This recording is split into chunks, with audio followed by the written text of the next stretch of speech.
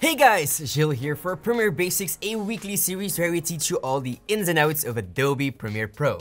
Last week, Adobe released a brand new feature that lets you color grade your footage with just one click of a button. Currently, it is only available within the beta version of Premiere Pro.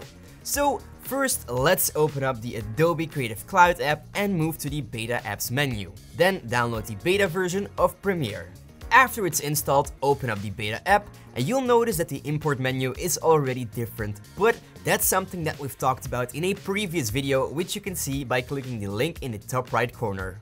Now I'm going to import some footage which will be some log footage that we've shot and some stock clips from Storyblocks that already have a decent color grade. We're now going to color grade these clips to get some nice looking colors. To start color grading, move to the window menu and select the Lumetri color panel. If you have never color graded before, let me give you a quick introduction. Within the Lumetri panel, we have multiple tabs. The first one is the Basic Correction tab.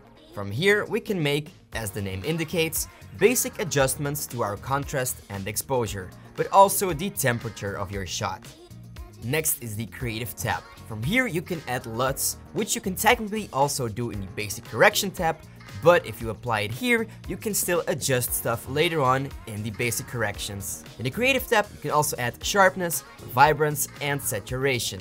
Next up is the Curves tab. From here, you can use the curves to control exposure and colors, but in a more advanced way. You can also play around with the hue, saturation, and luma controls to control specific colors on your shot. Next is the color wheels and match tab, and here you can add specific colors to either the shadows, midtones, or highlights. Next is the HSL secondary tab, which you can use to make selections of specific colors, which is an ideal way to create better skin tones for example. And lastly, we have the vignette tab, which is basically to create a vignette obviously. But you have clicked on this video to see the brand new one-click color grade feature in Premiere. So let's not wait any longer. When you go back to the basic corrections tab, you will see a new button which says Auto Tone.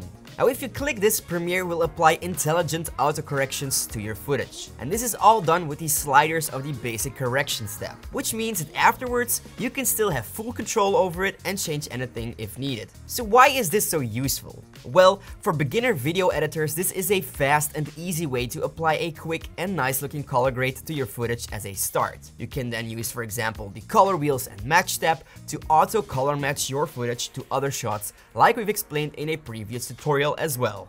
And after that, you can continue color grading your footage to get a more specific look. But before I continue and show you some of the results that we got with this new feature, let me quickly tell you about our color grading course, which is an in-depth color grading and color correction course, all with the use of the Lumetri panel in Premiere Pro.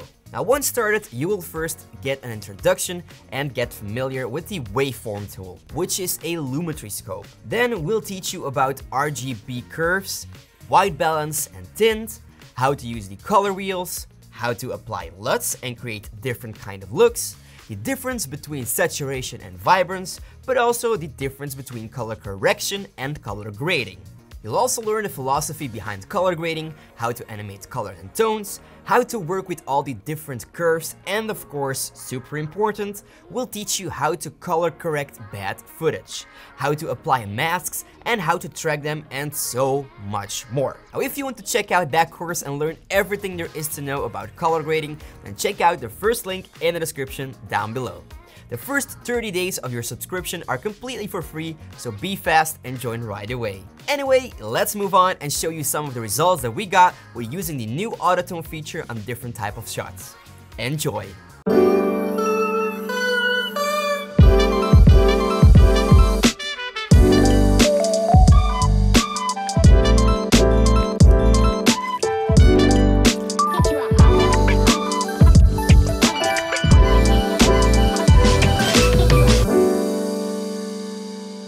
I have to admit I was a bit skeptical about this new feature, but the results actually look pretty damn great. So I can't wait for Adobe to release this officially for everyone to use it. I hope you enjoyed this video and learned something new, and if so, make sure to hit the like button, turn on post notifications, and of course, subscribe to the channel. And feel free to share this video with your friends or on your socials. I'll see you again next week with a new tutorial, and as always, stay creative.